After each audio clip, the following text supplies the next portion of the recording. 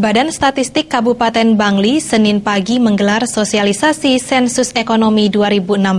Sensus yang mengangkat tema Perkokoh Pondasi Perekonomian Bangli dengan mensukseskan Sensus Ekonomi 2016 ditujukan bagi jajaran SKPD Kabupaten Bangli.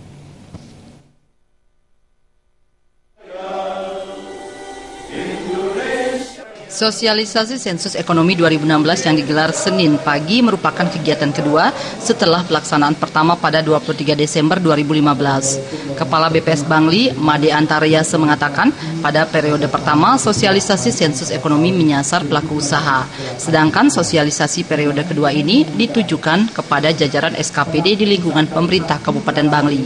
Sosialisasi ini untuk mengajak perangkat SKPD mengerti tentang pelaksanaan sensus ekonomi.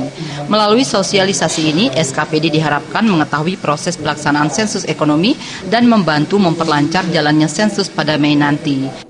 Jadi kami mengundang SKPD untuk uh, berdiskusi mengenai SE 2016.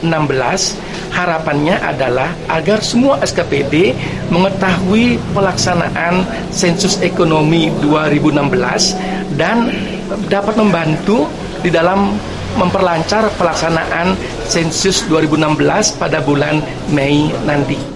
Hal senada disampaikan Sekda Kabupaten Bangli Ide Bagus Gedegi Putra. Menurutnya sosialisasi ini untuk memberikan informasi kepada masyarakat sehingga mengetahui pelaksanaan sensus ekonomi. Sensus ekonomi akan memberikan keterangan secara detil tentang perekonomian Bangli di luar sektor pertanian. Data tersebut akan digunakan sebagai bahan kajian pemerintah dalam pola pembangunan. Iya Pak.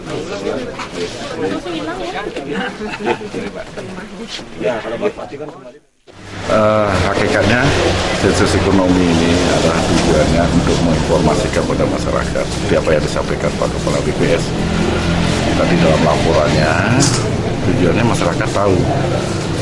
Karena dari sensus ini masyarakat bisa menerima dan bisa memberikan keterangan secara detail tentang perekonomian di luar pertanian. Nah dari didapatkan data inilah sebagai kompilasi secara utuh nanti potret tentang uh, perekonomian yang ada di daerah, terutama di Kabupaten Bangli.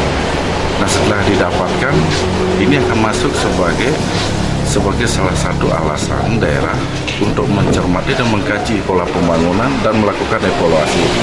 Sehingga apa yang dibutuhkan masyarakat dalam pengembangan bisnis ya dalam core bisnisnya masyarakat tentunya dalam produk perekonomiannya bisa kita lakukan dengan tujuan tentunya untuk meningkatkan kesejahteraan masyarakat yang didasari atas data yang kita dapatkan dalam sensus ekonomi.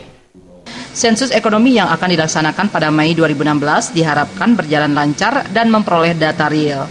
Data hasil sensus tersebut akan dijadikan dasar untuk